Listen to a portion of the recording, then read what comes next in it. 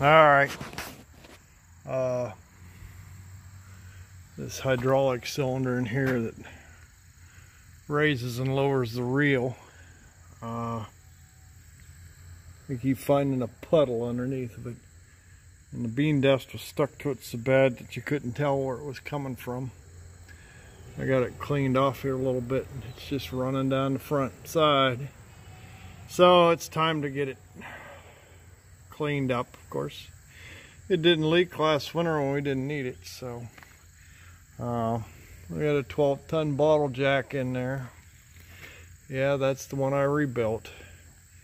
And uh, I got a 2x4 stuck in there. Not this thing's that heavy, it just, if it comes down on my fingers, it'll pinch them. So anyhow, I got it propped up there far enough that I can pull that pin out. And uh, I got to crawl up here on the inside.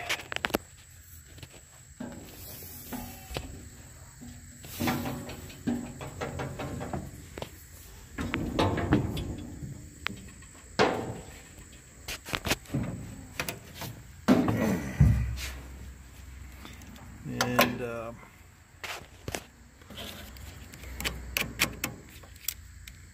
dang bean dust is everywhere.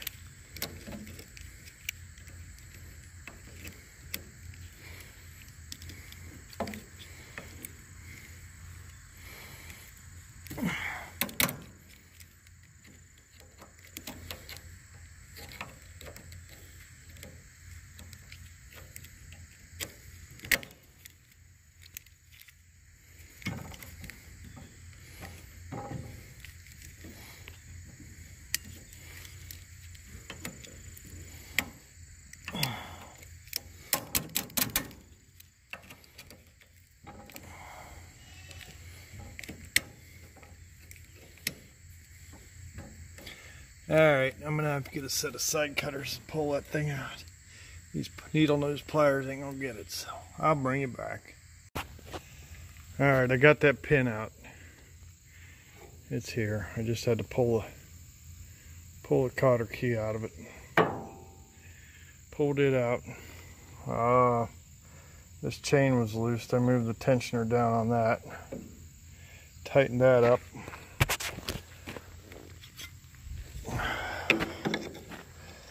Somewhere in here amongst all this bean dust is a fitting.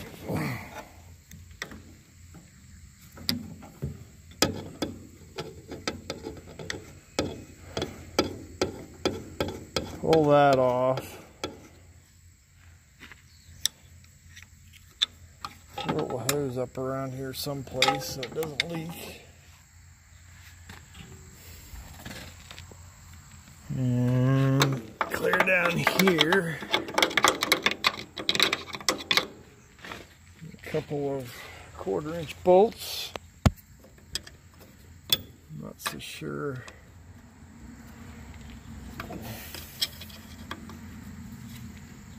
Ouch. It hurts when you run your fingers into a sprocket, especially an old wore out one. That nasty one right there. Oh boy, gonna bleed.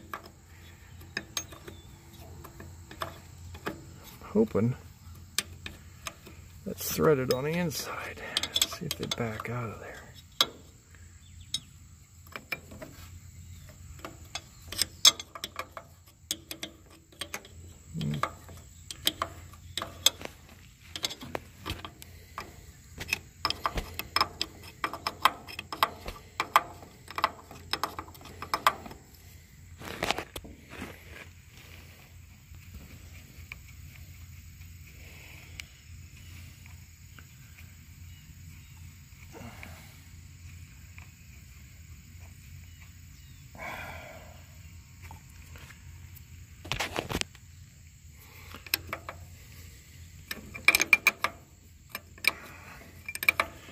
All right, let me get this out of here. I'll pull that pin out because there's a pin right there in the bottom of that cylinder.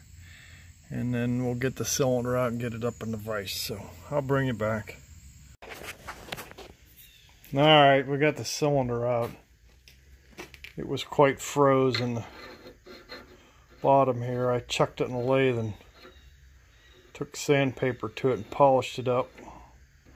Cleaned this groove up. You can see where we grabbed it with a vise grip. So that's good to go. Um, the cylinder has some issues here.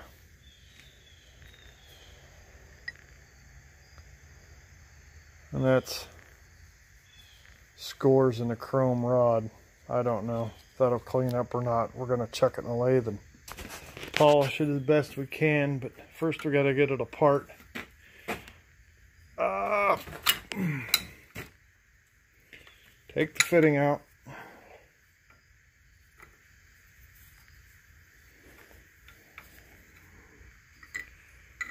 And the reason I'm doing this is we got an inch of rain last night. And uh, beans are a little bit damp in the field, so.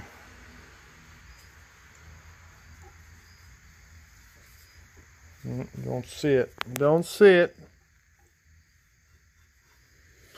There it is.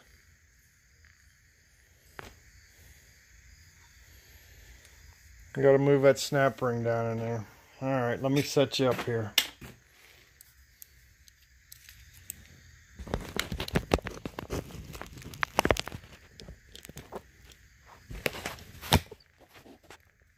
Ain't that neat? We got a, a little magnet mount. We can set you right here on the vise. While I go down in there and pick that snap ring groove. Pick that snap ring into the other groove.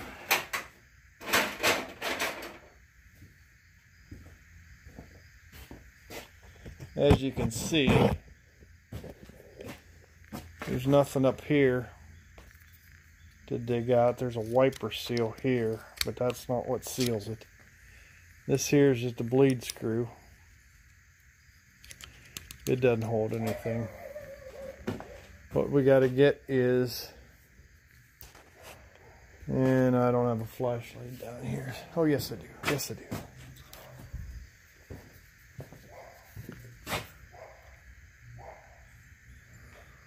Where's it at? Yeah. yeah. Uh, snap ring groove right there. A little tiny snap ring on the left. It's got to go in the big snap ring groove on the right. So hold on, I'll set you up.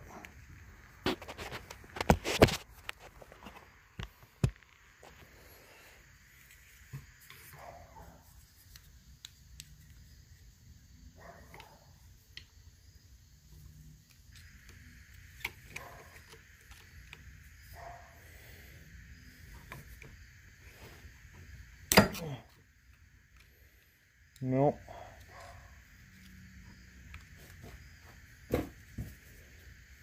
Let's put you up here.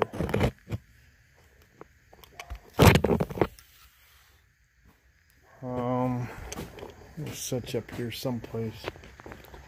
See what I'm doing. Nope, ain't gonna get up there. Hmm.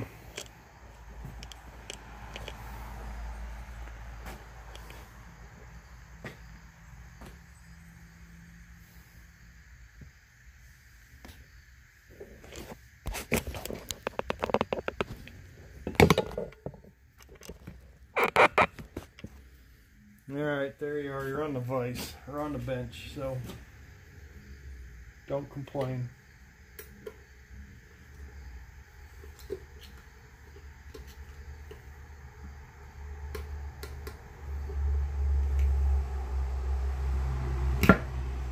I'm to need something different than that.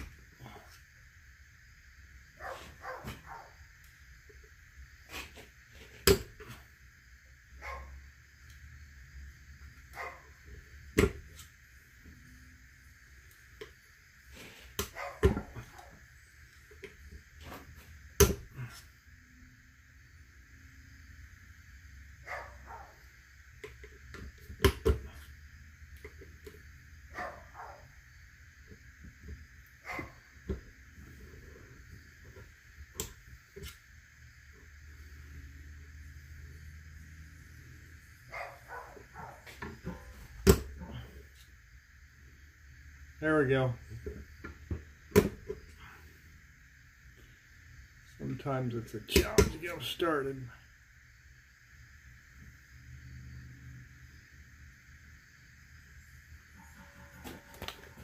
Once you get them started, they go.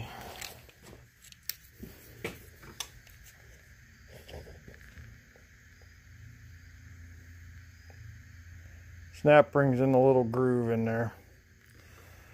And then just pulls out of there just like that. See the snap ring? Normally it's in that thin groove on the left. And you pull it out of there. Now, uh, let's see what we got in here for a seal.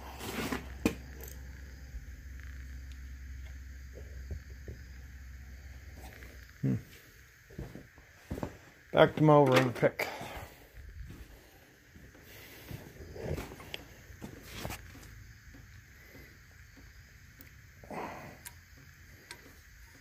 Oh, it's a seal. It ain't very good. So, all right, we'll uh, have to get a seal at work tomorrow. So, yeah, that's why it's leaking. We'll polish this rod and put her back together. So, all right, thanks for watching. All right, kind of loud in here.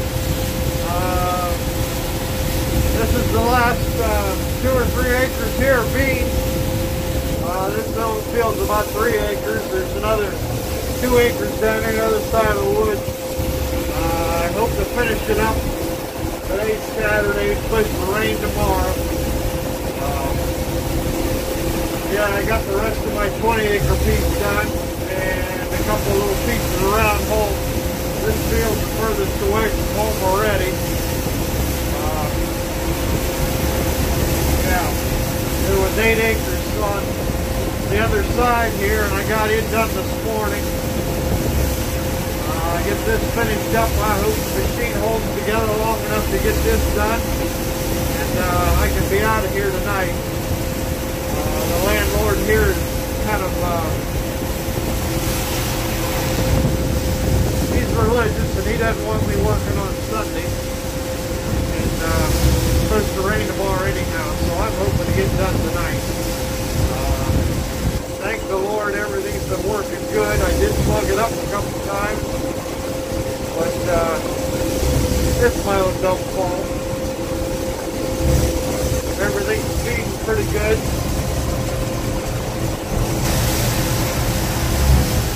Uh, like Logan said, in his comment, this dang head if you don't have it down. And uh, it feeds really good if you get her down where she's supposed to be, but if you get it up a little bit, she starts slugging, and uh, that's the hard part. So, anyhow, I'm hoping to finish this field up today. Finish all my beans. Uh, tomorrow night, we, or tomorrow we'll probably put the corn head on. I don't think I have any corn that's ready to go. It's still kind of green yet. So anyhow, I'm really hoping to get the beans done tonight or today. Today the sunshine. It's really kind of pain going the other direction. That way I can see in ahead, but this way I'm in the shadow of the combine.